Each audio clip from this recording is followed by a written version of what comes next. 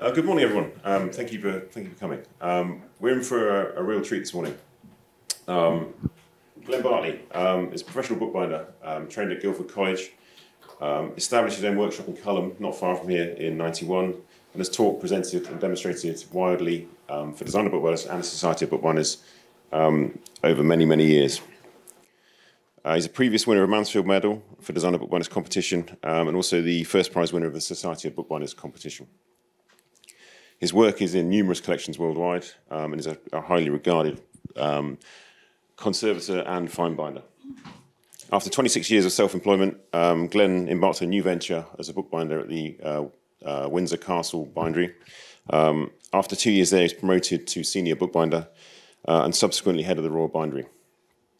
Glenn's responsible for the care and conservation of books and manuscripts in all areas of the Royal Collection um, Trust and continues to pass on his skills in bookbinding to um, everyone who everyone available, everybody. Um, Glenn's also a judge for this year's international competition, um, so he did a sterling, sterling job with that. Today, Glenn is demonstrating full vellum covering, which is probably one of the most difficult techniques uh, in bookbinding. Um, so sort of buckle up. Um, so over to Glenn, um, and on top of that, he's a thoroughly nice guy. okay. okay, over to Glenn. Okay, thank you. Thanks very much, Stuart. That uh, such a big span of time as well. It really makes me feel very old as well. So, um, so yeah. Uh, good morning, everybody. Thank you very much for coming. It's lovely to see so many uh, of you to come and see the demo. It makes it all very worthwhile, and uh, it's very nice to see so many familiar faces too, uh, friendly, familiar faces. So that's lovely too. And welcome to all the folk who have come from abroad as well. I know the, the people who have come, made a very big effort to come here. So uh, hope you're enjoying uh, the whole uh, festival and the competition. And I've got to say, Stuart and Lou have put such a fantastic uh, effort into making it so successful. And I think they've, they've done a really super job. So well done. So um, I've got an hour and a half to show you something which um, obviously would take a great deal of time normally if you're working in a workshop to try and uh, bind a book in this particular style. Um, so I'm going to kind of whiz through it as quickly as I can. Um, I, I'm quite happy to take questions as, as, as we go, because there probably will be things that you're not too clear about. Please do stick your hand up and, uh, and ask the questions. Quite happy to answer those as I go. Um, and also, um, I think that the sound guys are quite keen uh, to have a microphone parked around, but passed around. But I'll try and paraphrase the question back uh, if uh, if everybody can't hear it properly. So um, we'll see how we get on with that. And there's all this uh, technology. I've got to make sure I stay in the right spot and, and so on. But please uh, bear with me while I get my head around all of that. So, uh, vellum binding, uh, parchment binding, fantastic material for covering books, but very, very temperamental. Um, it's very uh, uh, affected, very much affected by temperature and humidity. So you've got a careful handling of it and storage. Uh, libraries have all sorts of problems with trying to keep it in, in, a, in a, a safe condition in their libraries. So uh, why, why do people do it? I don't know. Why, why do binders use it? It's also incredibly difficult to tool as well, uh, to decorate and so on. But it is incredibly hard wearing and uh, lots of books are still in very good condition from having been bound in, in, uh, in full vellum. Uh, this, this style of binding is, is different to limp vellum because limp vellum is much more of a non-adhesive binding. Uh, and this is what we call hard vellum, or vellum over boards because you've got the you know the usual sort of hard cover um, for the binding and and it's it's much more of a uh, you know just the same as any other inboards binding covered in leather. It's a very similar structure to that. So um, let's start at the beginning. I've, I've obviously had to prepare the, this uh, this rather nice little book. It's the uh, Compleat Angler by uh, by Izaak Walton. Um, it's one I found at the back of the cupboard, which uh, is a very nice, uh, still with its um, bolts not cut. See, it's still held together there. I, I just thought, well, this is a good opportunity to uh, to bind this one, and it suits. Uh, it will suit vellum very nicely. Nice size. Um, so basically, the, the, basic forwarding of this book is um, been sewn on four linen tapes. Um, I use a link stitch showing. You can just about make out here the, the, the remnants of the, the link stitch shown through the spine linings here. I'll talk about the linings in a moment. Um, so it's sewn on, on linen tapes. It's very important when you're making a vellum binding not to have a very overly rounded spine. You can see here it's a very relatively flat spine. And this is important for the way the, the board opens. It's a French joint. I'll come to that in a moment as well. But a French joint means that when you open the boards, you don't want to get any sort of lock-up of the outer edge of the board here on this part of the joint hitting the back of the spine, which can happen. It will restrict the opening of the board. So bear that in mind. If you're ever going to make a, a vellum binding, try and keep the swell down on the spine as much as possible uh, and have a relatively flat one. Um, it is rounded and backed, so you obviously got to have enough swell there to back the book properly. But uh, you do, you do um, uh, as I say, don't want to be overly rounded. In fact, this one I seem to remember it was, um, I, if I'm going to try and keep the swell down, obviously use a thinner thread, but you don't want to use too thin a thread that's not going to be strong enough. But uh, the fact that I've sewn it on four tapes, you, some people might think three would be enough, but four gives me the option that there are extra areas to go in and out of the section. So I actually sewed uh, the bulk of the sections in the middle of the book, two on. So that would keep everybody familiar with two on sewing. I forgot to ask as well, you're all primarily bookbinders, aren't you? You're not just... Uh, no. Okay, well, you're the odd one out then. So, but I'm speaking to the... Okay, you know nothing. Okay. Well, we'll sort that out. Don't you worry. Okay, but not structurally. Okay. A lot, of, a lot of folding techniques that Glenn's talking about we, can be discussed after this. Yeah. In, the year, the sewing, the rounding and backing, everything can be discussed yeah. with people outside. So feel free to come. But I don't want to. I don't want to try and pitch this. so people have some idea what I'm talking about, obviously, with uh, from the from the technical side of it.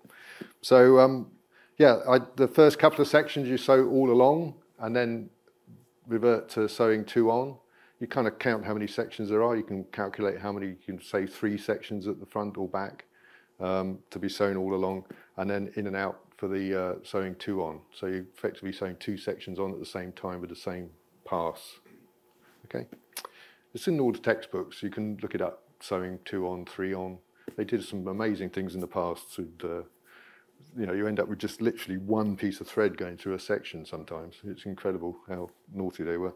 Anyway, so uh, so that's that's rounded and backed. And oh, I didn't mention about the end papers. Very simple, straightforward end papers. Do, don't, don't worry. Go on, go on through. Um, I'm going to pass these round uh, for those of you who are most of you who are bookbinders. Uh, just gives you an idea of how this how the end papers are made up. It's a very simple.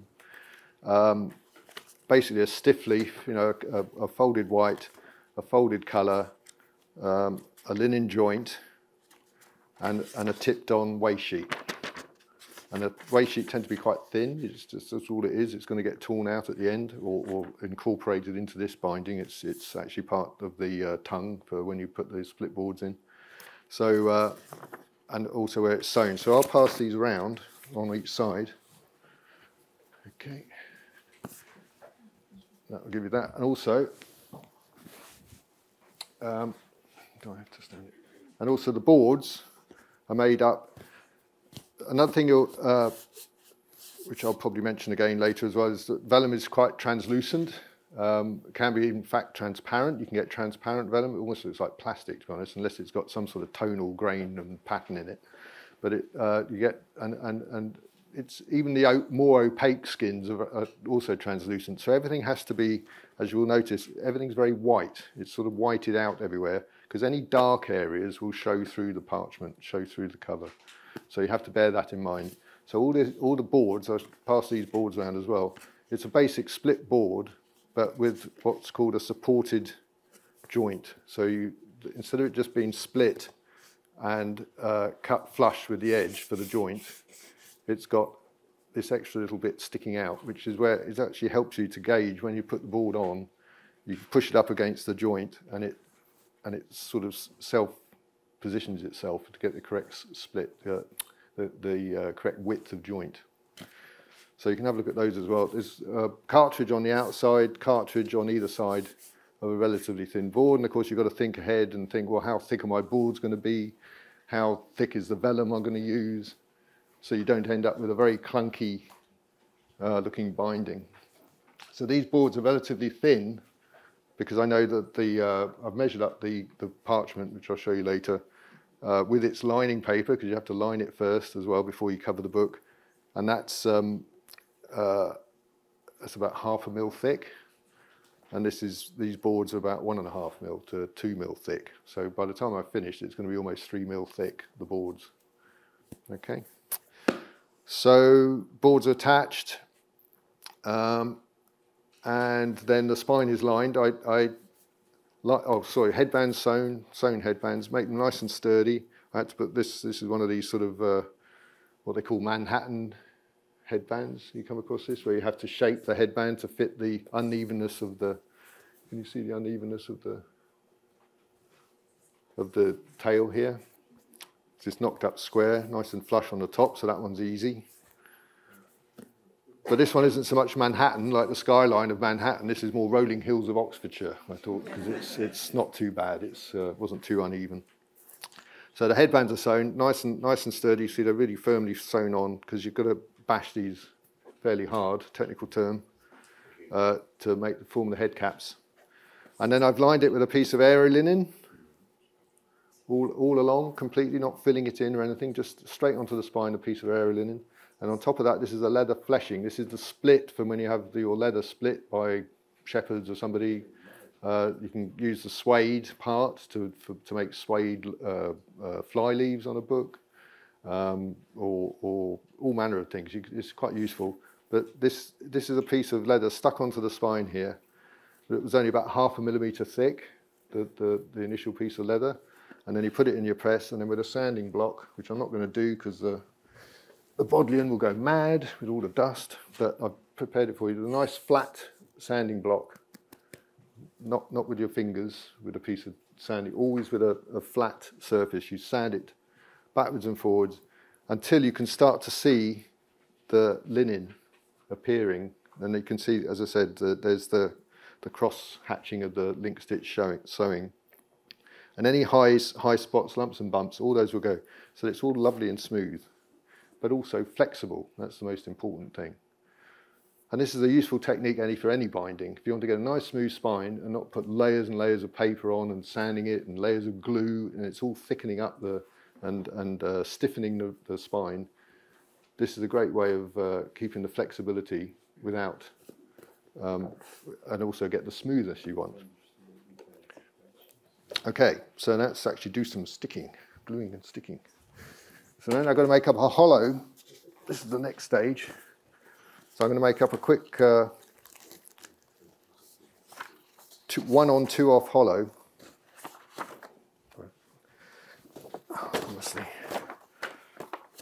So this is just some thin uh, craft paper. Again, as I said about the boards, think about this, this kind of finished book you want and how finely kind of um, you know, how, how delicate you want it to be. You know, you can end up with a very clunky book with all these layers of paper and thicknesses of the board and laminated boards. You have to think ahead and, and choose the materials to suit the size of the book. So people say, well, how thick is that craft paper? Which craft paper? It depends on the book. It's a bit difficult to, to um, be more precise than that.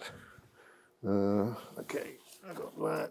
Okay, how are we doing for time? Okay, good. So this is how I make my hollows sort of on, on and off the book. So th this um, piece of uh, um, suede and the, and the linen is just away from the edge of the, the, the last section where the end of the backing is basically. I don't know if you can see that. See there's a slight gap between there and there. That's quite important. Otherwise this is where to how you avoid over ending up with a with a what would effectively be like an overbacked book, you know, where your where your, your boards are, are too too low down. What's it called? When it's um. Yeah, you're getting more bulk at the joint. You want it on a on a tight back book. You want it nice and flush. Well, if you if you do it this way, as I'm going to show you, you will end up with a nice flush uh, hollow on the on the spine of the book. So this is just a tiny bit bigger than than the width of that uh, suede. Can you see this? Yes, you can. Oh, brilliant. Wow, look at that. So then that's folded over. There. And then tuck that in there.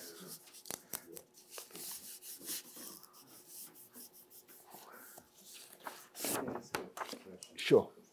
So the main purpose of buying books is to make it, them last longer, right? Or, to, or make them more beautiful. What, what is the purpose of, oh boy, that's a big question. That was a big question. What is the purpose of binding books? Uh, is to make them more beautiful or to make them last longer? okay, that's, that's a good question. I have another one. okay, It must, must be very expensive. Only libraries and rich people can afford handbound books. Um, do you think, just for now, I can avoid answering that question or trying to answer that question because I've got a lot to think about trying to do this. But but I'll happily talk to you about it afterwards. Yeah, that's a good debate. You know, it's one for down the pub, really, isn't it? Afterwards. So, um, sorry, don't don't be. I hope I'm not offending you, but but I'll, I'll, I'll Okay. So this is relatively thin PVA. I always use quite thin PVA, never um, straight out of the pot, please. I've seen people do it. Um, another, I think of things as I'm going along, obviously. Um, another important factor is line your spine. If you're going to cover the book, you know, you say, I'm going to cover the book today, well then line the spine on the same day because that little extra bit of moisture in the spine from your hollow um, just just makes it nicer to cover the book. There's a bit more flexibility when, it, especially when you're you know when you're doing your turn-ins on the trying to tuck it inside the hollow. When you split the hollow, you're trying to tuck it in. It, it doesn't create that nasty kink that you can sometimes get. So do it on the same day, at least on the same day.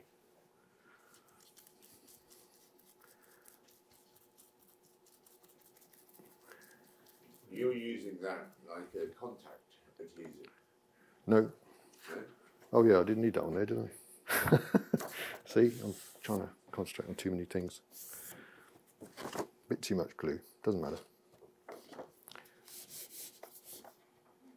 No, that should have just been one layer. I want it to stick really well. That's my excuse. What do I do with me brain? Oh, here it is.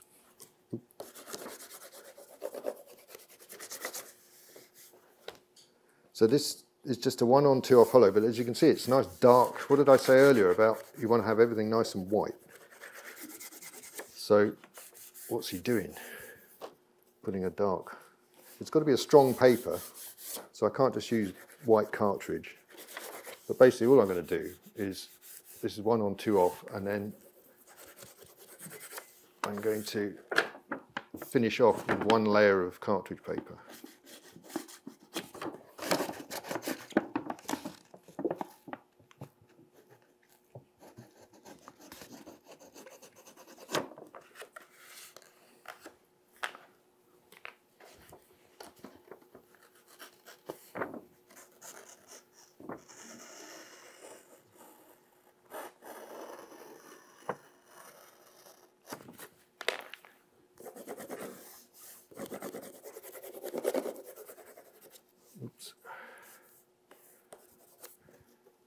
Learned how to do hollows in a bindery about a mile away from here, in a bindery in Oxford. Having learnt how to do it in college and then finding this was so much easier doing it this way.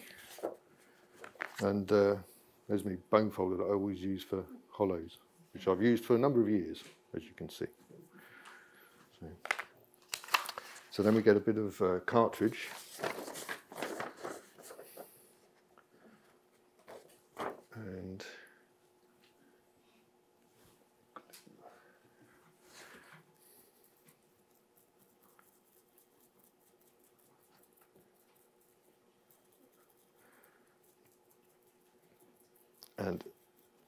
Notice how little, apart from making the mistake of putting glue on both sides just now, you don't need very much. Thinly and thoroughly is, is enough.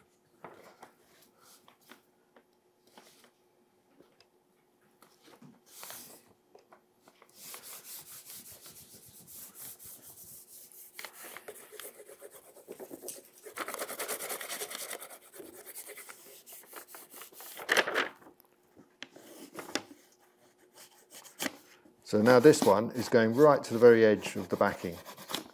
So as I was saying earlier, this will create just the right width of spine so that it's not too proud of the edge of the boards.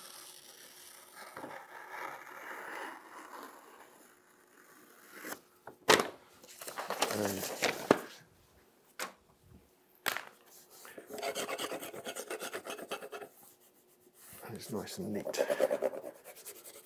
Then why don't you use something like a, a printmaking paper, like a lightweight Somerset or something, which would be more I think it's just the familiarity of using. That's a good quality craft paper, and it's nice and strong, and it's not too thick. It's just the right weight, really. So can you see it's it's all fairly neatly on the edge there. Okay, so then we trim off the edge and uh, excess, excess, excess, scissors.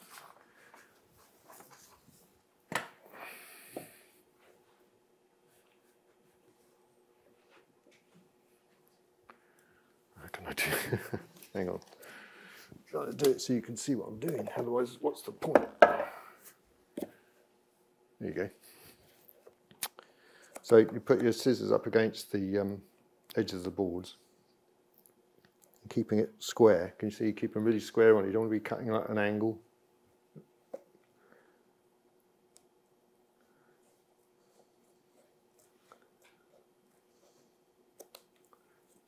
A little bit. Take a bit more off.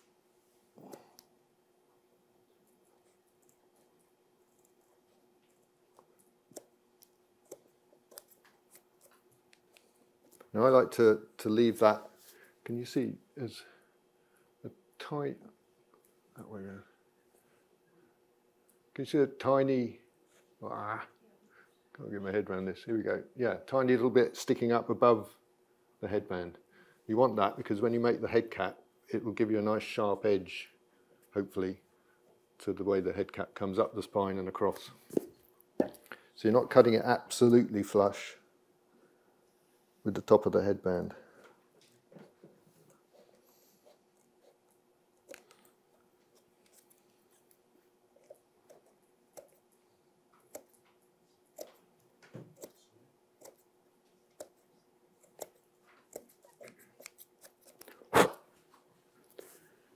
Of course make sure it's square.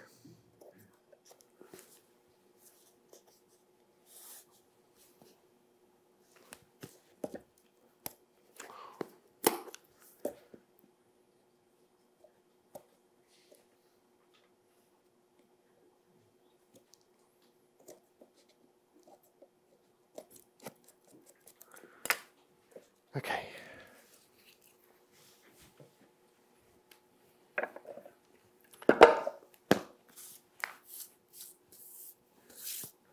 a bit paranoid now about making a mess. And before I do anything else, before I forget, I'm going to slice the hollow now as well. I can find a suitable scalpel.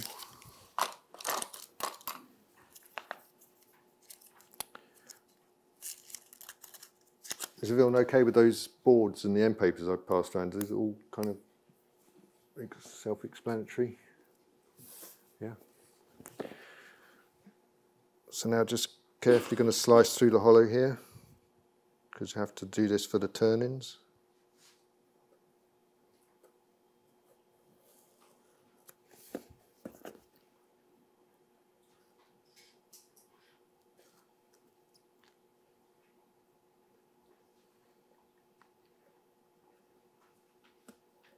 Yeah.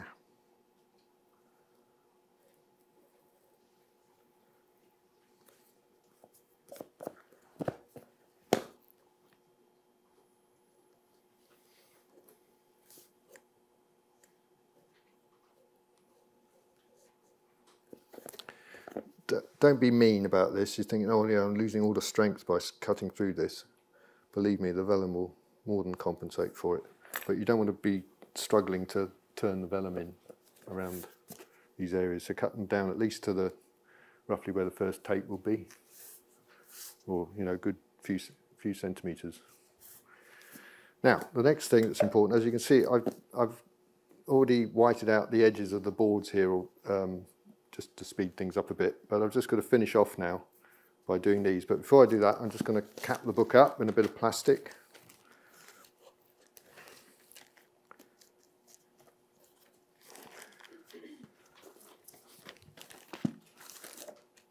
And the advantage of this, using plastic instead of paper, is of course you can see the edges of the boards very easily, which is helpful. Um, but also, it's waterproof, of course, and you don't have to worry too much about moisture getting into the text block.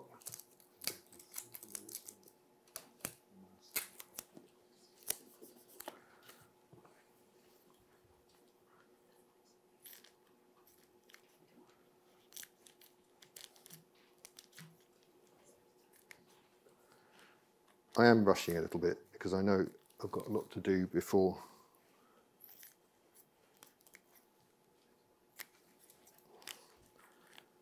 Don't want to run out of time, even though time is infinite.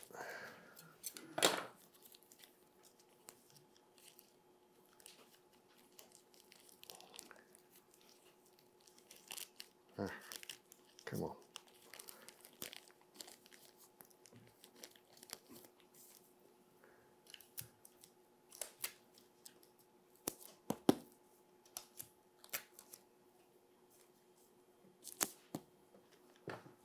Okay.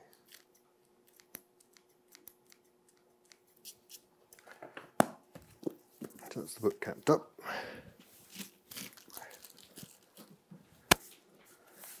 So now we get just ordinary white acrylic.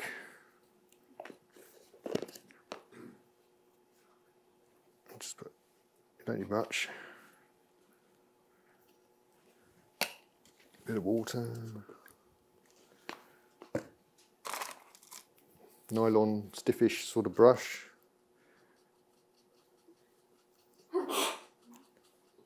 Bless you.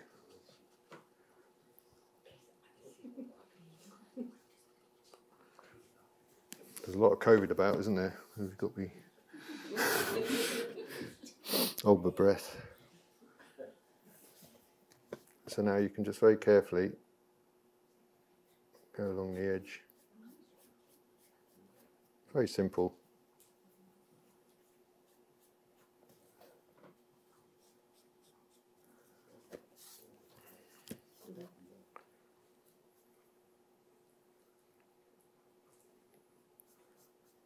Um, acrylic really sticks to especially paper and, and even leather and so on really well. So whatever you do, don't get it anywhere where you don't want it because you won't get it off. especially things like headbands. Glenn, can I ask a question? Sure. When you see um, books that have like a painting underneath, would it always usually be acrylic that's the best use for that? Um, not necessarily. I think as long as they're waterproof. Um, uh, yes, there's this whole thing about parchment that you can press it quite hard. You know, you laminate the paper. I've done it before where you decorate the paper in some way. I've used air, airbrushed inks and things, and um, I know Jim and Stuart do various things which have not told me how they do it. But anyway, there's ways of colouring vellum. But um, no, as long as the, think about it, if you, you're going to apply an adhesive, so you just want them, so you don't want them to kind of run or mm. or change, and maybe test them, make sure the colours don't change too much. Mm. But that's the primary thing: is just make sure they're they're waterproof. Um, so that's that as well. And of course, you've got to do, I left these as well. These are tapes. Just have a little white out on those as well.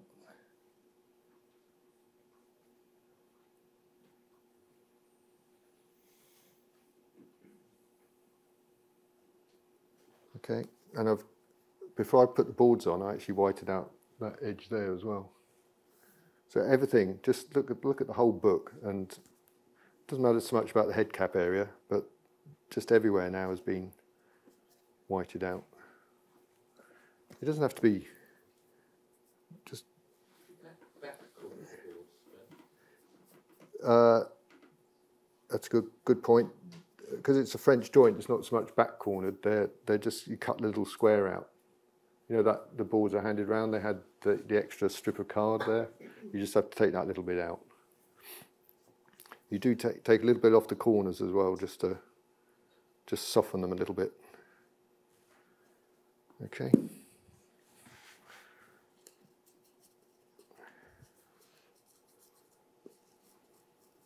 I ought to clean this brush, otherwise it will be useless again. I haven't really got.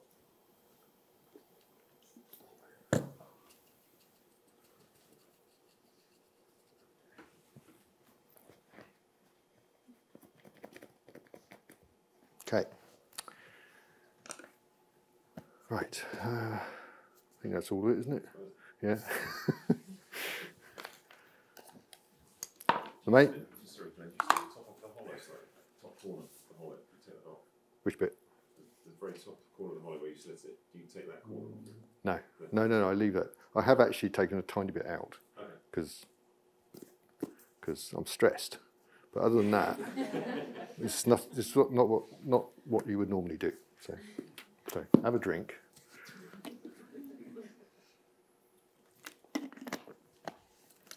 Right. One more thing, guys, there's tongue split as well. Good point. Thank you, my man. You split the tongue as well, and you do it just next to the piece of card. Thanks, Stu. That's that's fantastic. So am I out of range? No, I'm not.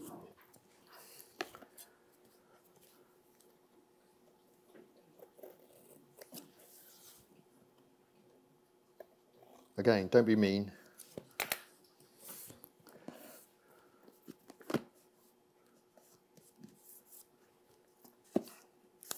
Okay, yeah, it's really important you do that because when you've got the vellum on, you don't want to be struggling trying to slice your hollows and stuff. It does happen.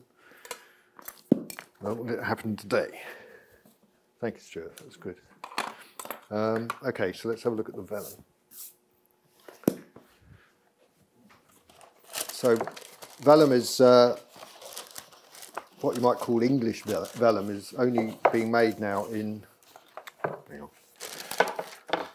Only made at uh, Cowley's at Newport Pagnell. Amazing place if you ever want to visit it. Um, it's just extraordinary. It's like going back into a kind of Dickensian period.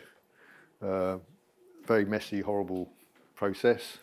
Um, I won't go into it. There's probably YouTube videos, but it's um, if you ever get the opportunity to go round and have a look round, uh, go with a clothes peg on your nose, and and it's fascinating. Not good if you're a vegan or vegetarian. That's why it's not really joking apart. It's not. It's very unpleasant. Some of it. So um, this is a piece of calf skin vellum.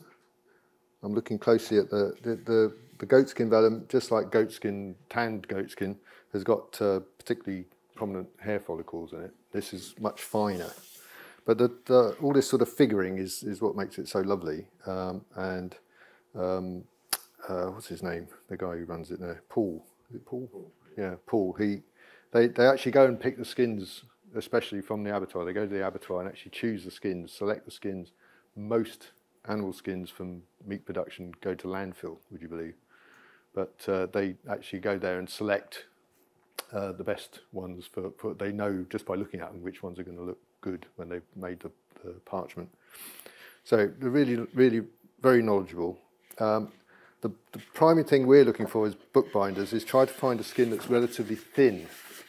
And actually, the thinner the better. Even for quite large books, uh, it's easier covering a book. Now, this, this is about 0.35 of a millimetre thick, probably 0.3. You can tell it's got a little bit of flexibility in it. That's what you're looking for. You don't want a piece of vellum that's you can barely move like a drum skin. You know, it's like you just never cover a book in it properly. You probably will, but it will look terrible. Um, and you'll give yourself a whole world of uh, stress doing it.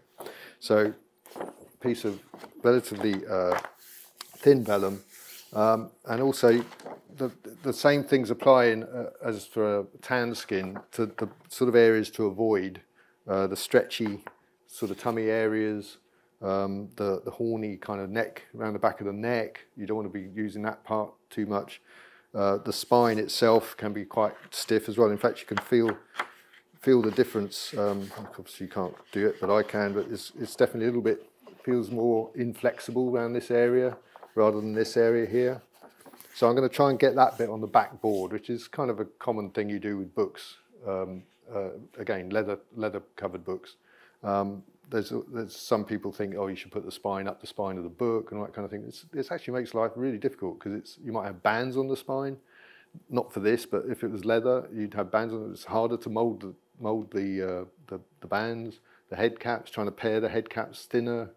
It's all harder on the spine because the leather's so much stiffer and more inflexible. So get the spine on the backboard. So uh, let's cut a I really wanted to show you this bit. I could have done all this beforehand, but I wanted to show you the process. So I'm going to line it with a piece of paper. I've got the right bits of paper here. Yeah, it's this one. Yeah, so this is just a piece of thin cartridge. I've got to line the vellum with cartridge to stabilise it, basically. Otherwise, you again, you run into all sorts of problems with uh, trying to handle it while you're covering it because you'll see it just go, it's got a mind of its own. This is what puts people off covering books in vellum.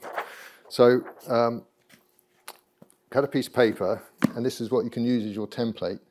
So just a usual sort of couple of centimetres turn in.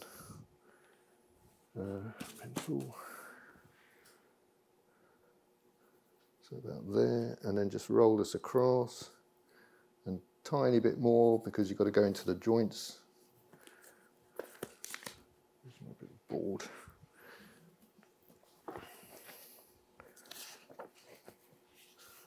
Okay, we're, we're good for time.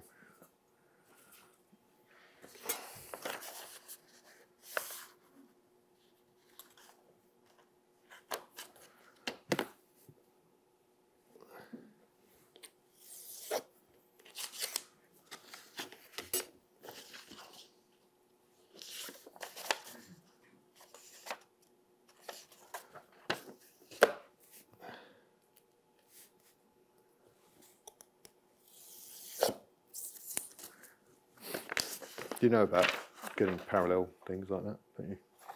Yeah? Yeah. Okay. No measuring. I didn't measure it, you know, all this measuring, don't do that.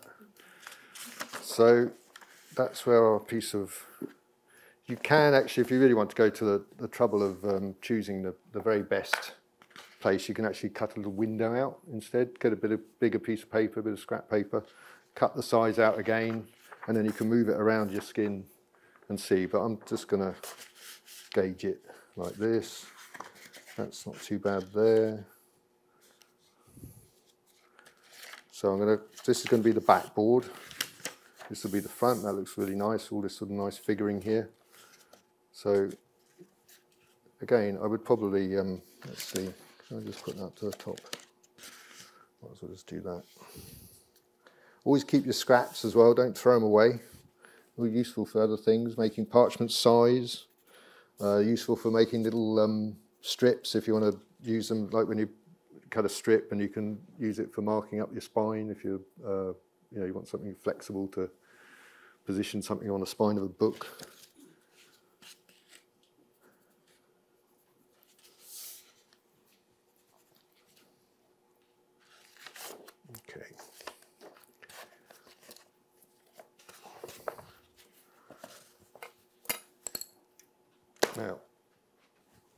should really use a stiff knife to cut vellum instead of a scalpel. So I'm better show you the correct way.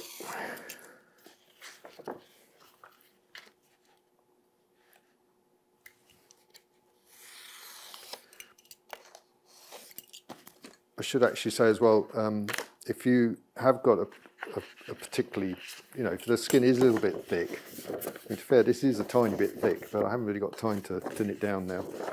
But you can, if you get a nice smooth bench, no lumps and bumps on it, um, or, or, a piece of board that's not not uh, grey board, but a bit of, maybe in a bit of wood that's nice and flat, and you can get your sanding block. Again, nice flat sanding block, and sand the vellum like this. It takes time. Best thing is to ask Paul at, at, uh, at uh, Cowley's to thin the leather down. They've got this amazing machine that they put it in. That it's like a belt sander thing. It's amazing. But uh, they'll, they'll get it nice and thin for you. Um, and also, uh, I, I don't like doing this because I've made mistakes doing it where you can actually mark where your turn-ins are and where, where it's going to go over the boards. And you can, um, you can actually, with a, with a uh, piece of wood, wrapped, uh, a bit of sandpaper wrapped around a piece of wood, and you can kind of sand the edges. But I've gone through it doing that, so I don't like doing that. I'd rather just use a thinner board on the book and and not have to and, and anyway it's as I said at the beginning try and suit everything to suit the book you know use thinner materials makes life a lot easier so I'll keep those for later I don't know what okay now then what's next right so Stu anything else uh, so that's out. So now adhesive. So I've got been pinch, pinching the bowls out of the kitchen. Say again.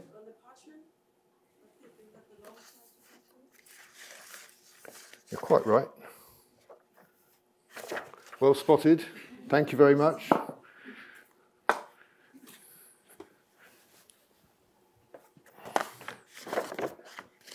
Oh, there it is, yeah. Thank you.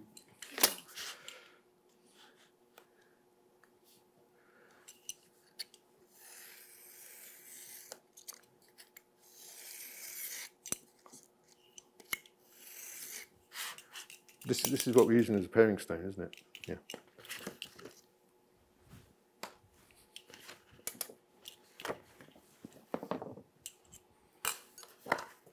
Okay.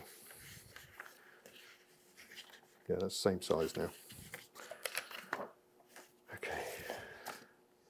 Of course, you can't really, yeah, I mean, you can mark things up. If you're going to mark the vellum to help you remember which way up it is or which is front, which is back, do it in the corners. Let's do that. So this is the F, and that's up, and that's back. Because of course you're going to cut the corners off, so you won't see those. Okay, but don't start sort of marking it in the middle or even on the paper, if that helps you. so uh, the adhesive we're going to use, it, we add a little bit of paste. It's paste and PVA mix. Um, I had a spoon. Carol was saying I nicked a spoon. What have I done with it? Hmm. Okay, I can't find my spoon. I'll have a, a guess. So it basically it's uh, two, 60 40. That's two parts paste, three parts PVA. Is that right? We won't need very much. Uh, whatever you do, don't contaminate your PVA with your paste because of course paste goes off and then it will contaminate your PVA and that will go off and it's horrible. But just a bit of paste basically in the in there, just tip a bit of glue in, not that much. Like proper chef, don't really know the exact quantities. Now, the idea of this is to um, just give you a little bit of a longer open time for the adhesive. And it also imparts a little bit more moisture into the parchment. Um, to help you work it. It makes it a bit easier. I watched a demonstration, uh, there's a German guy who covered a book in, in vellum at one of the SOB conferences, I think it was up in Chester, and he literally dampened the vellum down so it became this sort of socky, sobby, it looked like a, you know, like a chamois leather. It was like that. And then he proceeded to cover the book. I mean, he did it, but it was a bit basic. Lacked finesse, if I'm honest.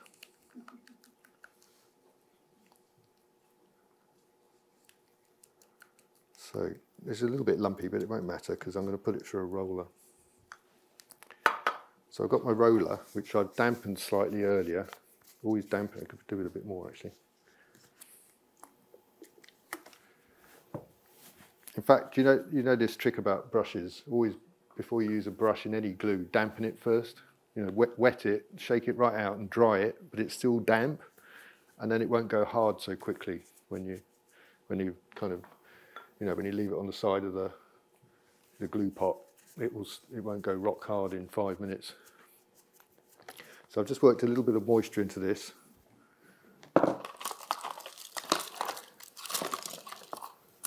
Now I used to do this with a brush, gluing out the uh, parchment, and uh, you, know, you get hairs in it, and oh, rollers are just fantastic. So if you haven't discovered the roller yet, which I'm sure you all have, it's definitely worth exploring as a way of applying glue. And also, um, remember, I, did, I wasn't, you know, when I went to college to learn bookbinding, they didn't use rollers, so and they didn't use them in the trade either. So.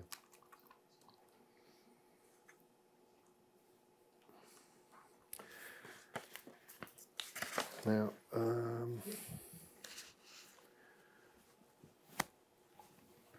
blotters,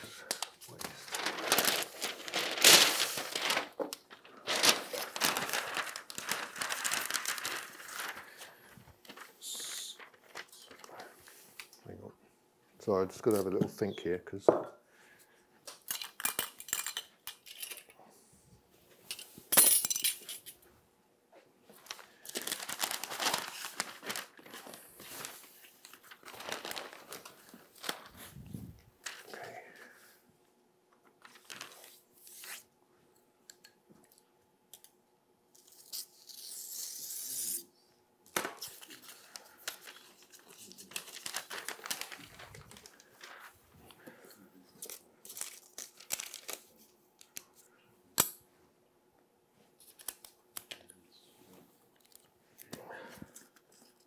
So you get a piece of waste, waste paper and you tape the paper to the bench.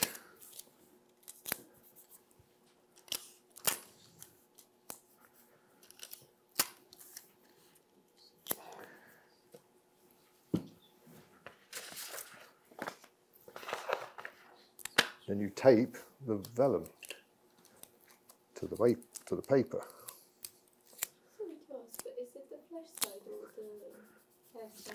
This, that, that's the hair side. Yeah, yeah. So yes, you, um, and if you if you don't, thank you for reminding me. Um, if you've done any sanding or whatever, just make sure it's nice and uh, free of any dust. And uh, you know, like any adhesives, they stick better without dust. So. Um,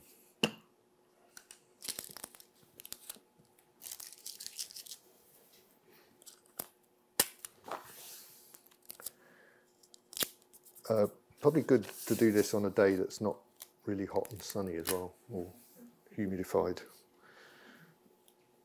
Nice rainy day. Yeah, so obviously these bits of tape are stuck right on the corners, so it doesn't matter. I'm, not, I'm going to cut them off eventually, so it won't matter about this later. And then you've got your bit of paper that will lay on top like that. Okay, so we've got that ready, we've got the book ready. I'll get some uh, pressing balls ready.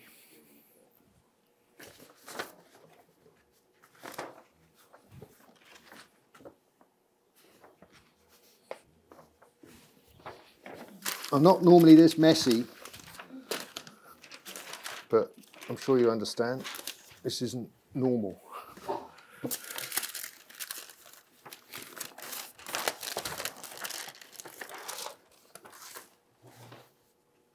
So two bits of blotter. So obviously have, have all this ready before you start gluing anything out. So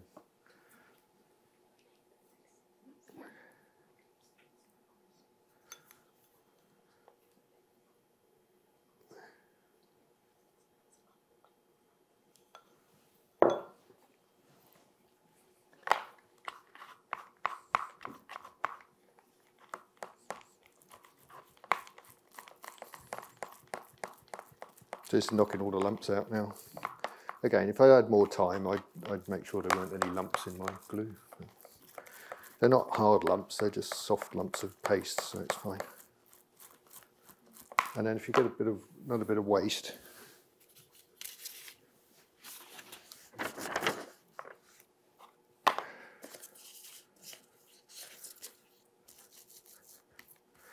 everybody, anybody who's worked with me and my apprentices, I used to have the apprenticeship scheme at Windsor. Um, I've always used this analogy of making pancakes. There's so many processes that we make pancakes in bookbinding, and it's the same. It's always like the first one you do is always a bit naff, like the first pancake. so it's the same with gluing. I mean, I'm doing, just doing the one book here. It's lovely if you're doing a series of books, and hopefully the first one is as good as all the others, but it's always slightly, yeah, because the glue hasn't quite worked into the brush properly, and um, you know what I mean, yeah. So this is a pancake moment.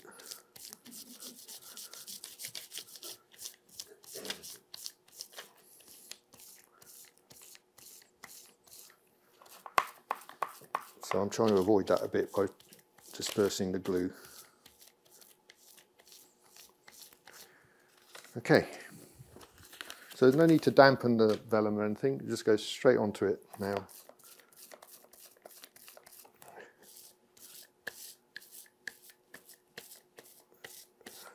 And now is a good moment to put the cat out as well. Don't want the cat.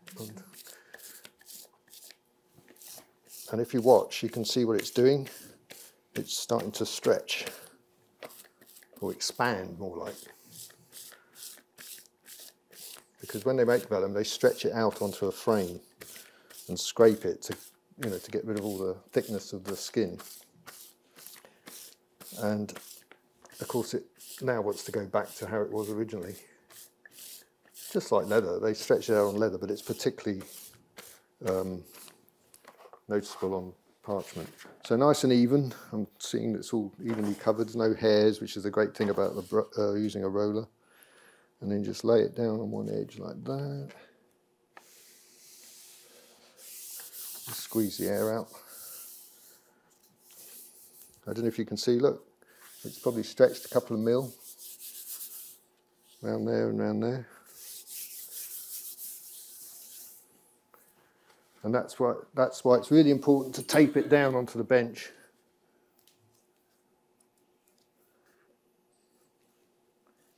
to avoid it all just, you know, becoming a, a sort of writhing animal, literally calf animal. what am I talking about? okay, so so you can see, even say the way the spine is behave differently. See? Anyway.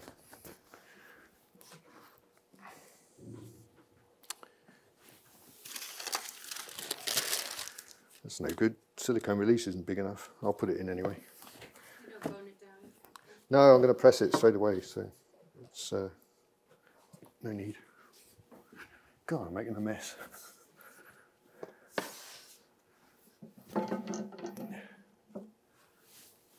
Just fairly gentle pressure. Actually, I could have got that in in one go, couldn't I? Oh yeah. There you go. It's just sometimes the press I have at home, I've got a big press as well, but it's often you have to do it in stages. If your press isn't big enough, you put it in once like that, give it a nip, leave it for 30 seconds, move it across, do it again. Just have a bit of a tidy.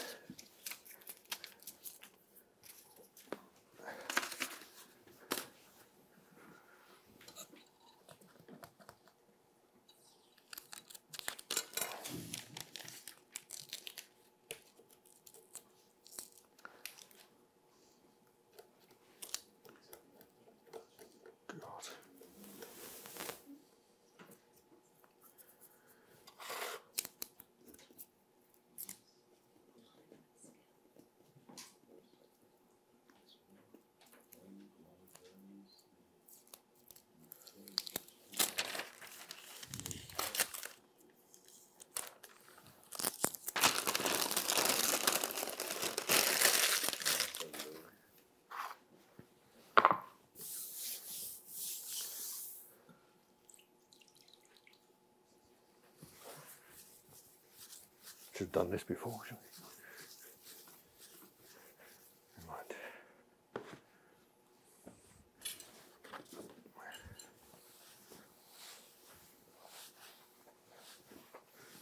Um, oh yeah, I should point out as well about pressing the vellum. I, I've never really noticed it too much myself, but people say if you press it too hard for too long, it goes translucent again.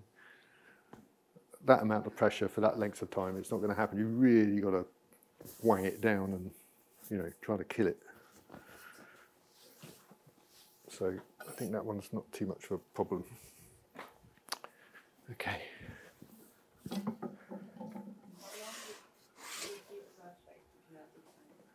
Say again? That, that is about the right time. Yeah, yeah, I know we're whizzing along. You have now, have, that's, once you start this process, you can't leave this now and come back to it tomorrow and do it. You've got to do it while, it's all about keeping the moisture in things. So, um, yeah, it's a, it's a continuous process. Really, as a, it's the same process. What I'm showing you now, that's how you should do it, but maybe not in quite such a rush. Um, just line your spine and prepare everything, get the whiting out done and so on. So, um,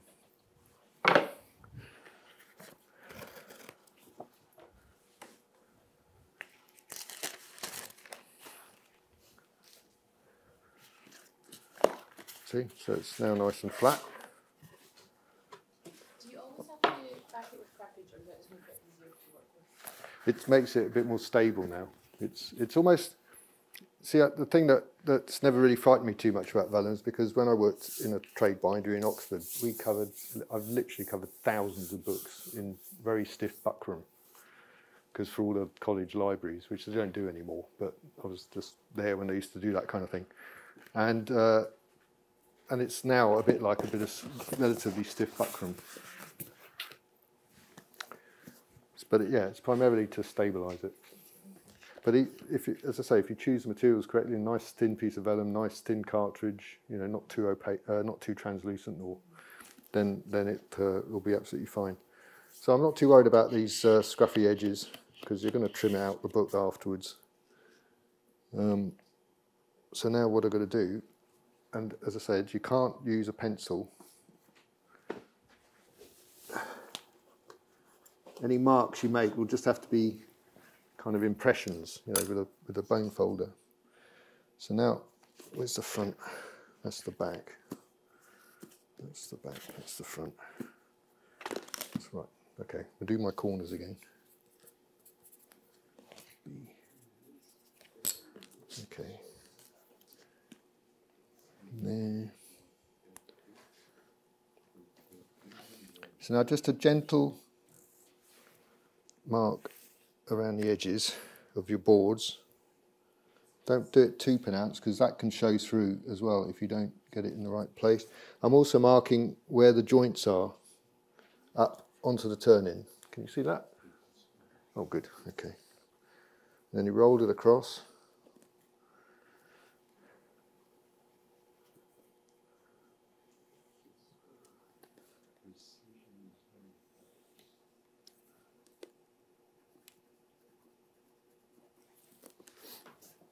So I bet, can you see that?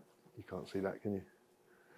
Well, there were just some very faint impressions in the paper, okay? Just little faint marks. So now I've got to just, uh, the only bit of paring you've got to do is just to thin out this area here on the head caps where it's going to go under the um, turning on the hollow. So trusty paring knife.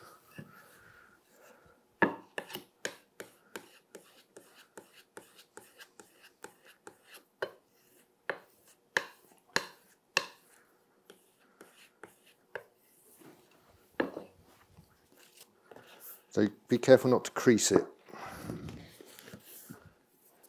So on the edge of the bench, very carefully. It's primarily taking the paper away. That's a good start. You might want to practice this before on a scrap piece, you know, just laminate it with a bit of cartridge in the same process as you would do and have a bit of a practice because it is a little bit fraught. I'm just going to concentrate for a sec.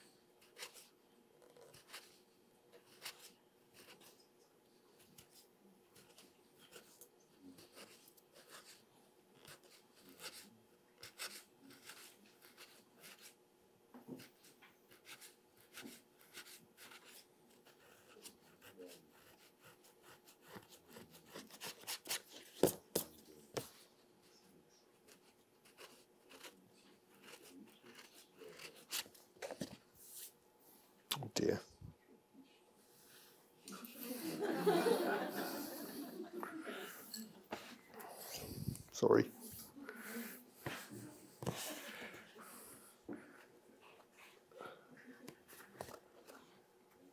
Oh, can you see that? That's the sort of thing, it's quite sort of off to a tapered edge. I might do a bit more on it in a moment.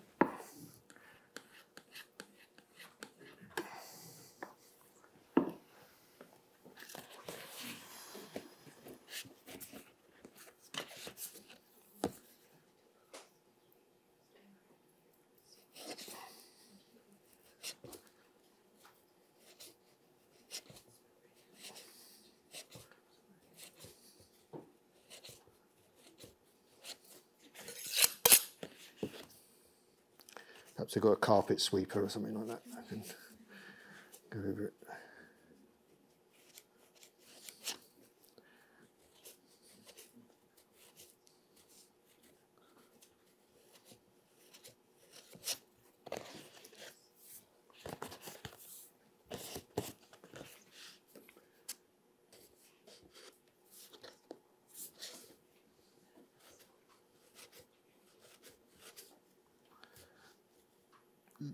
God. Ooh, that was close. I was just about to say, it goes without saying, you don't really want to cut it, which is bloody obvious, isn't it? Sorry.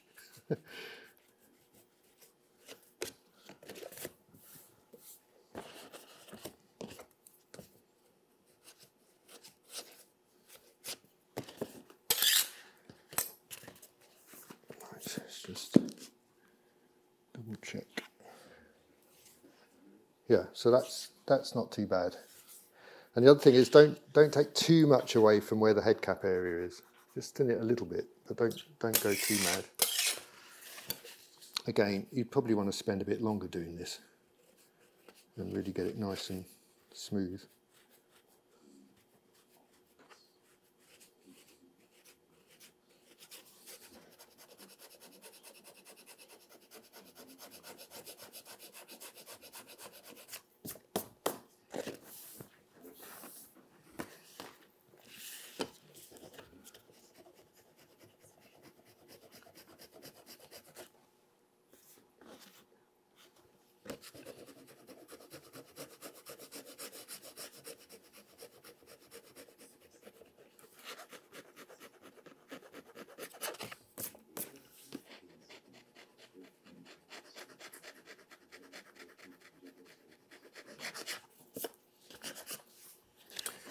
Right. So the next bit, um, you need to make up.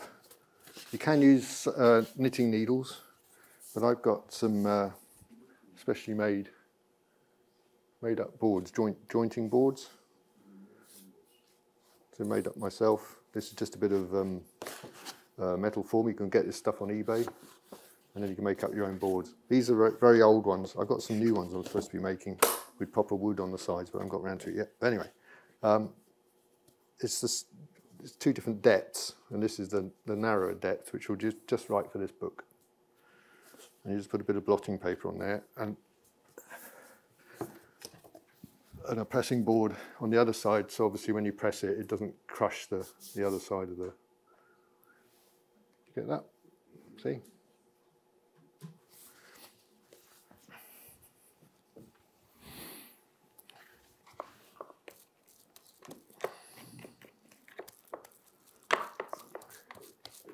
Now, very carefully, this is why you need your pencil, uh, your guidelines around the, the edges. You just carefully, and this will help relax it. You watch it now, it will go nice and flat again.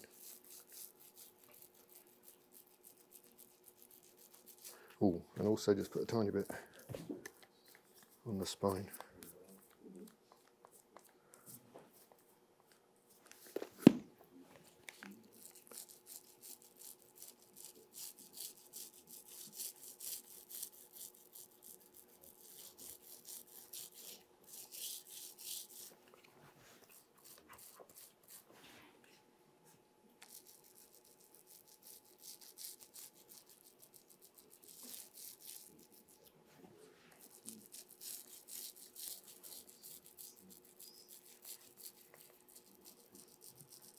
Stu? Have I forgotten anything?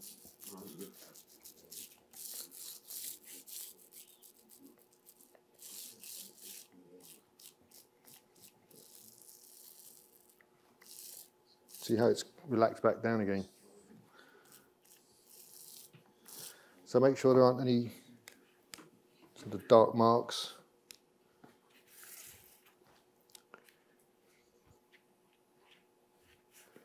Get your book round the right way, make sure it hasn't got any things on it.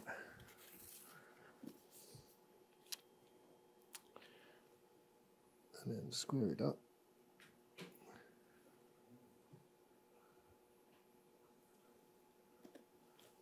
Lock it down. And then with a relatively wide bone folder, carefully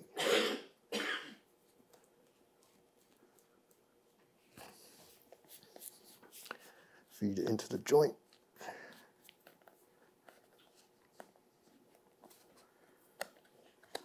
And not too aggressively, but just bring it round and do the same on the other side. What I mean is don't do it too tightly across the, the back of the spine because you want to have a bit of giving it. And then don't worry about putting, uh, you don't need anything on the inside, you know, any fences or anything.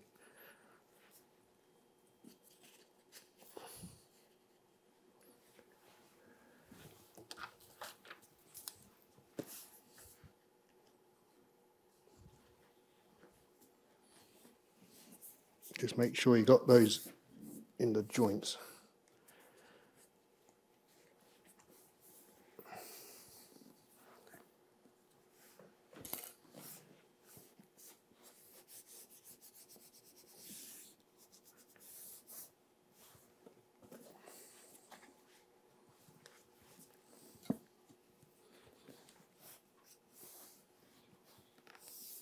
Okay.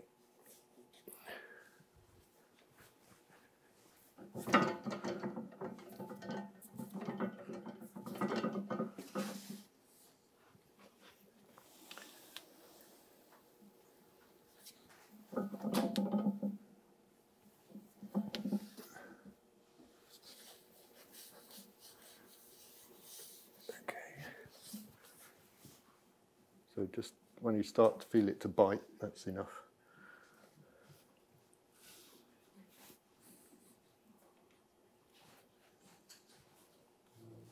Hmm. Should be all right. And because it's PVA, it's going to stick pretty quickly, even with the paste in it.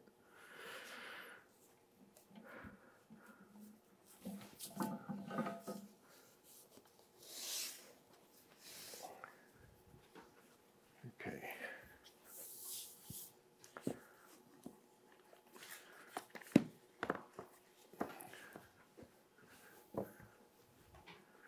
So then just um,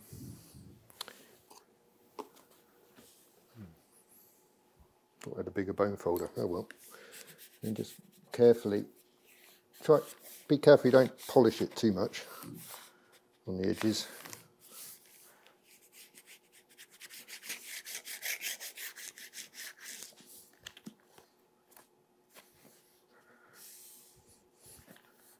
Rub it on the spine.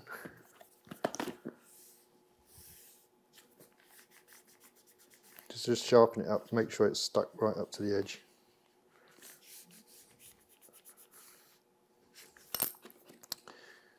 And then we can open it out and cut the corners off.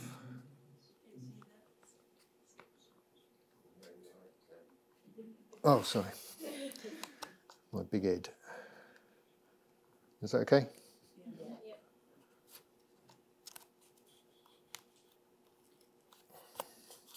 So usual sort of thing with a uh, turning. You don't want them too small. Um, the gap, you know, from the, the corner of the board to the edge of the cut, because we haven't got time to do it today. But you would normally just, just like you would do for a cloth binding, you just turn these in, and they would overlap, and then you trim them out afterwards when the book's dry. But don't make them ridiculously big. So I'm just doing it by eye to get them 45 degrees.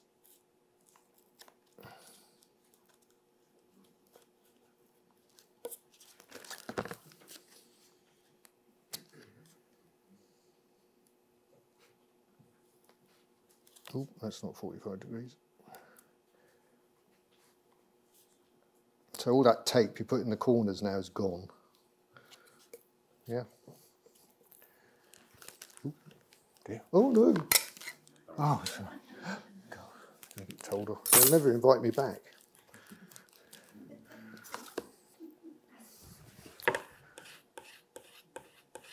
I said, no, I'm not going to make any mess. No, nothing. I did say I wasn't going to do any sanding, so that's true. So now the same thing as you did with the head caps. Can you, you can't see this, can you? Can you see? See, just take a little extra out.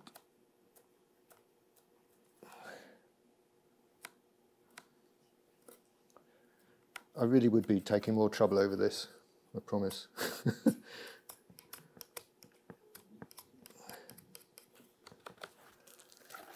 Nobody noticed uh, noticed my pudding basin.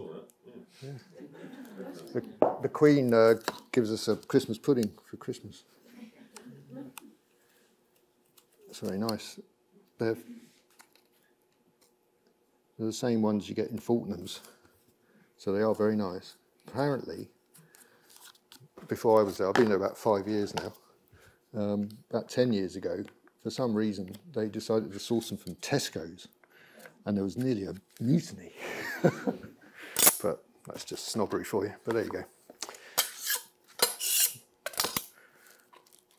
Um, okay, so that's, as you can see, that's all that prep now. Now you just have to turn it in, just, in 15 minutes.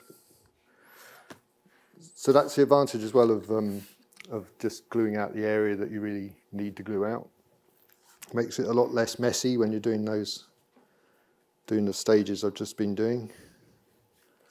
Sorry I should be showing you this. No need to put waste paper underneath or anything like that.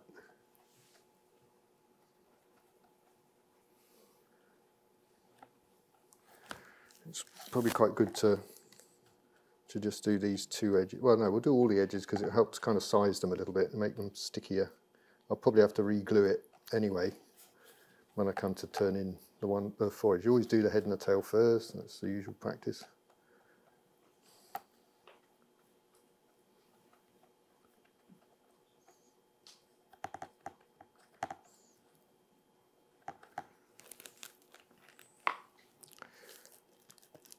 Now, I don't know how I'm going to do. Oh, I'll do it. I'll put it on some boards.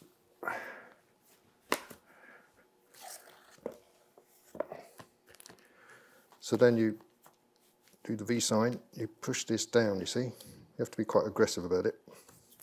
Now, normally I'd be doing this here, but you won't be able to see what I'm doing. So, and then you curl, oh God. Still can't see. Um,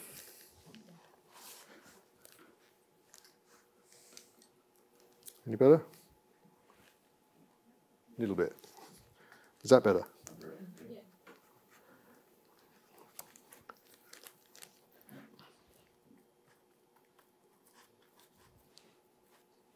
Getting warm in here. And I'll put a little bit of moisture, I think, on the back. Go, go easy with the moisture. You don't really need very much.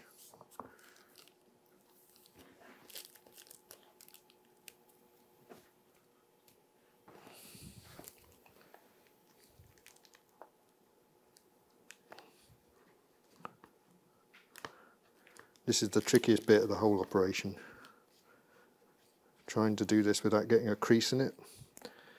So it's get it in there, but the most important thing is to kind of lift the boards up like this, which prevents this area here getting creased too much.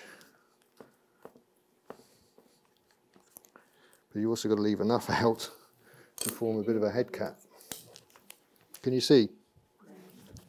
No? Yes? So just gently, gently ease that.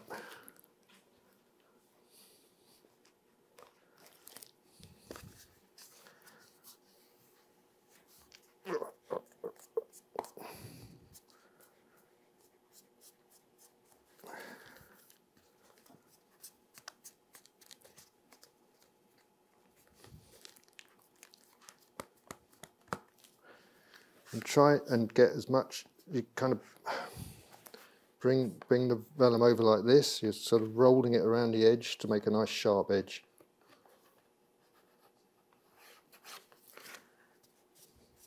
Can you see?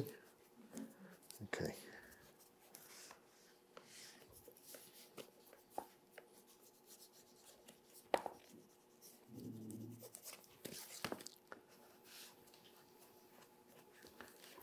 You don't want any, um, try not to have any sort of air pockets.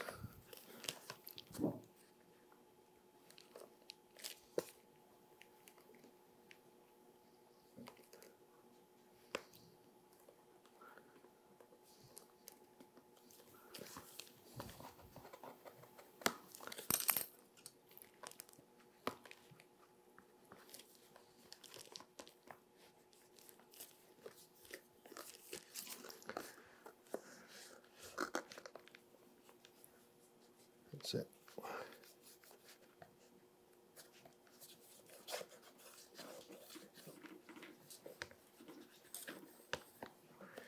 You can be fairly aggressive with it because you kind of have to. See, I've got a bit of a head cap there. Do the other end. See, that's dry.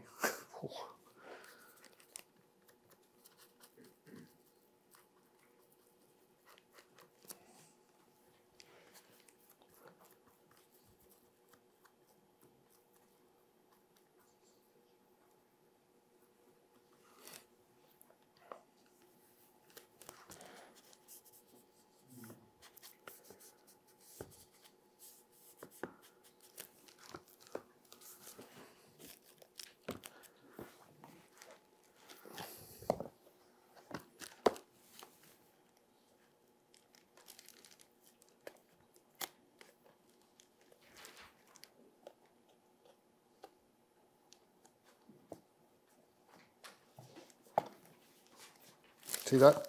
You're starting to get a crease there. You lift the board upwards and it helps to avoid that.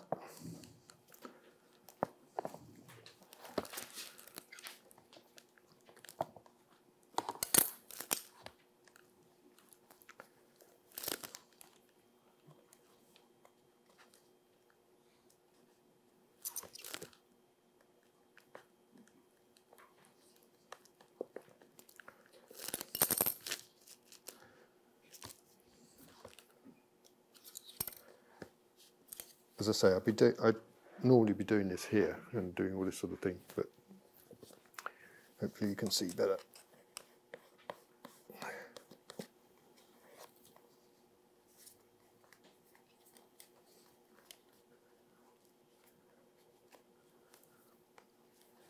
just the importance of having the adhesives working for you so you're not constantly trying to rub it down trying to get the darn stuff to stick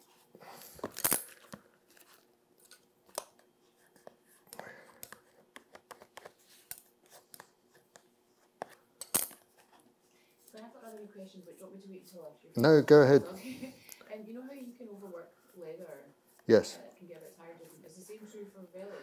You just be I think it's more it's can you overwork vellum um, it you can you can uh, but it's more a case of it kind of gets a bit shiny Oh, okay. Yeah, I mean that's what I'm saying. If you've got the, the right type of vellum, um, the right thickness and so on, you you sh- you shouldn't have too much trouble working it. Oh well, you know.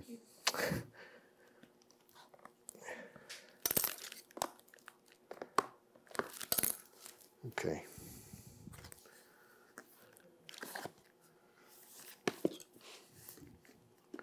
You can get rid of those now.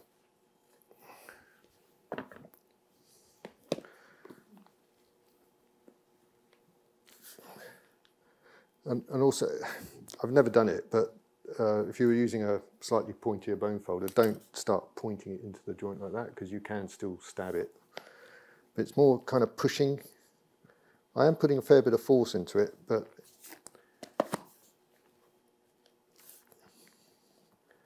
and you see as well, despite all that um, manipulation, I haven't got too much of a crease on the spine. That probably would rub through a bit of paper.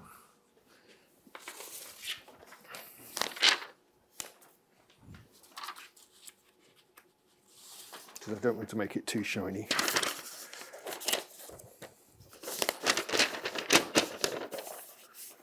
So, um, kind of just rub it through. I can't do it because I haven't done the turn-ins yet, but just get it all kind of settled. And yeah, as I was saying, despite all the manipulation, I haven't got any bubbles on the spine, it's all stuck properly. And that's where the, that nip in the press, it sucks it, pulls it around the spine. It's important you do that.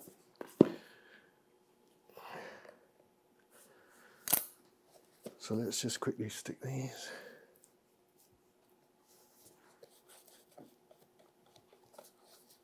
Yeah, so the corners you can come back to later.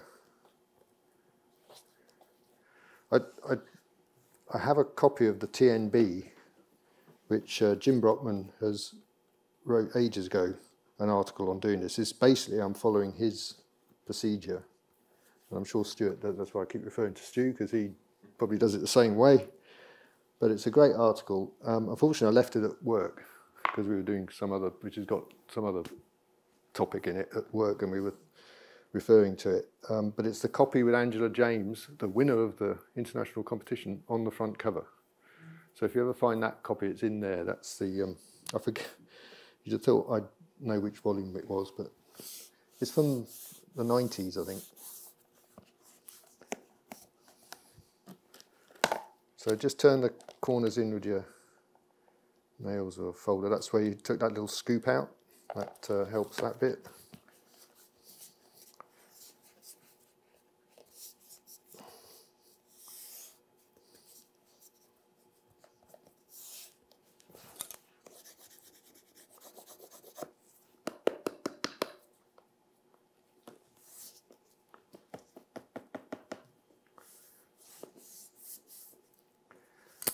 Can you see it's uh, got relatively nice thin edge? not clunky. I don't do clunky. I don't like clunky.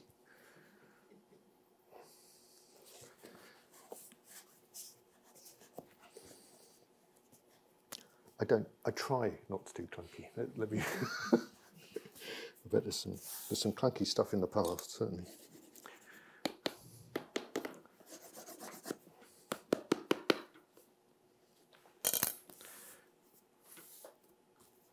Right, great I think I'm going to do it.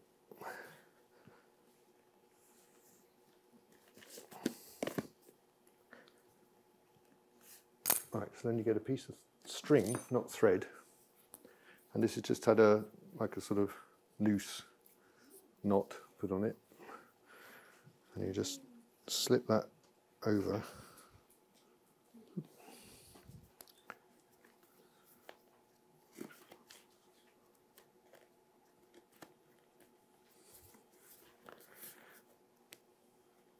And just pull it reasonably taut and tuck it inside.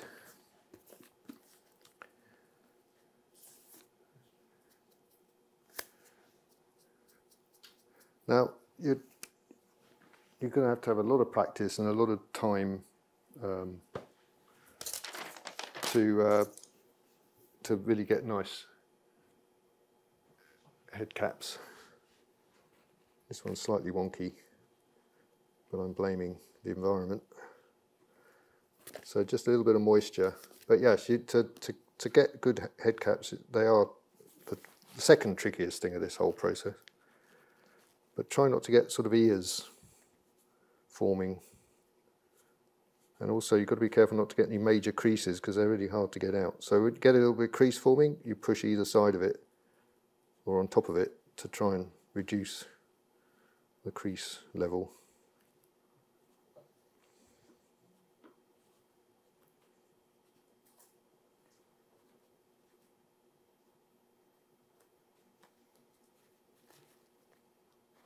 So it's just a case of easing it down. Can you see that?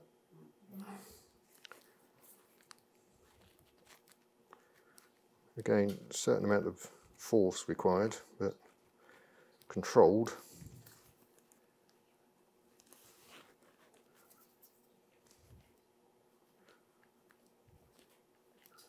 Yeah, that went pretty well. And the same on the other one. Oh yeah, push these back a little bit as well. Forgot to do that.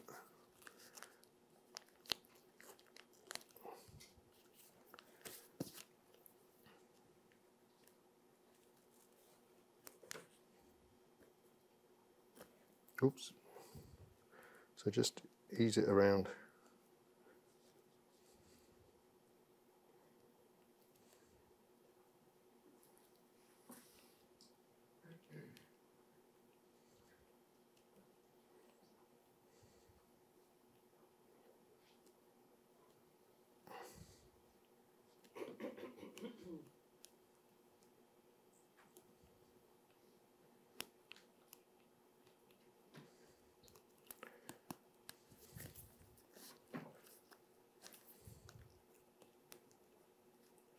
Right.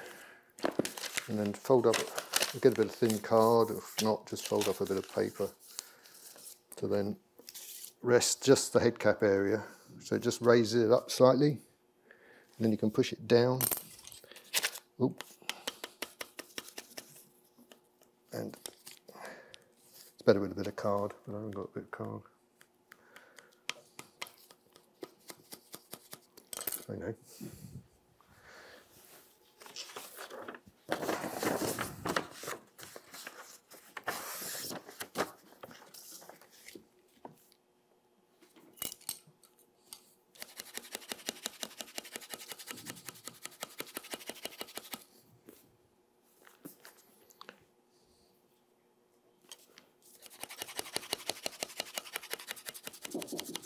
Pushing down.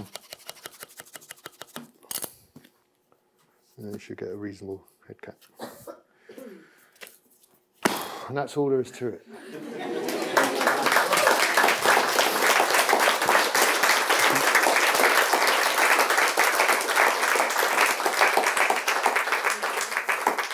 Uh, I think we can all agree that was that was really quite incredible. Um, the use of the Thank you. materials and, and the craftsmanship. Oh, and that was was incredible. So thank you, Glenn. Fabulous job. Um, if we do have any very very quick questions, then feel free to shout them out. We've probably only got a couple of minutes, but if you if you can think of something, then then then feel free to ask. Let me bring a mic. Hang on a sec. What about warping? What happens next? Ah, right, very good question. What happens about warping? What happens next? Yeah, warping. Um, as I mentioned at the beginning, very uh, susceptible to uh, atmospheric changes, climate, uh, uh, temperature, humidity. So um, when when when this book's uh, dry, say tomorrow, I'll leave it under a weight now. Put some blotters inside, leave it under a weight. The next day, you put a little bit of moisture on the on the spine. This is the next day. Don't leave it till next week or something. Um, don't forget the board's always going to try and warp, not just this way, you know, the normal what you see, but they're also trying to pull away from the joints as well. The whole thing is trying to go into a U shape. So dampen the joints, open the book, and trim out the inside. I haven't got time to show you how to do the corners, but um, basically you just remiter the corners. It's very similar to what you can do it with leather as well, where you overlap the corners, slice it through, take away the excess, and bring them back together again. You do it the next day because this is going to contract slightly. If you do it now, or the, you know the next stage, or before I did the head caps and everything, there's a chance they'll just pull apart and you have a little bit of a gap. So do that the next day. So do that, and then two. It's invariably at least two pieces of cartridge paper as fill-ins or stretchers, not fill-ins, stretchers, and that get those in first with paste. Cut them slightly narrower than the, the width of the, the, the space between the turning and the, and the joint. It's a little bit narrow. Let them stretch and stick them in. We'll do, do them at least one at a time, but I bet you'll probably need two. And then that will pull the boards around, and then it will stabilise. It will look more like this, and then you can carry on uh, working on it. But you've got to kind of let it season. The, the boards are going to be very damp, you know, internally. So you know you might think, oh yeah, that's flat now, and I can put the end papers down. but you'll probably find, oh no, it's just creeping up a bit. You need to leave it, say, out for a bit, and then under a weight for a bit, and then out, for a bit. So that takes time. It's like seasoning a piece of wood. You know, it's otherwise it will start moving again. And um, once you've got it to the stage where the boards are pretty much flat, absolutely flat, that's when you can put your end papers down, and that will give it ever slight, ever, ever so slightly a pull inwards, and that should be enough to for it to behave itself. Okay, that's a good question though. It's the warpage thing you've got to be very careful of. Okay, I think we're there. I think we deserve uh, one more round of applause for Glenn, and then we'll wrap up. Thank you.